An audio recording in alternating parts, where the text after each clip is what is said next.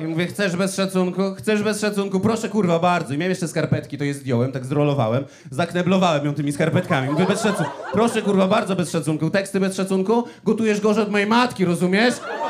W administracji pracujesz w tartaku się bo jesteś w łóżku i kłodą i deską. No i to w ogóle nie siadło, nie?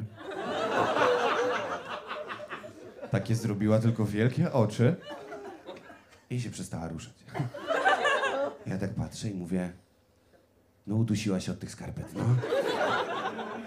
Ale pamiętam ze szkoły, jak to się sprawdza, przyłożyłem lusterko do nosa, patrzę, paruje.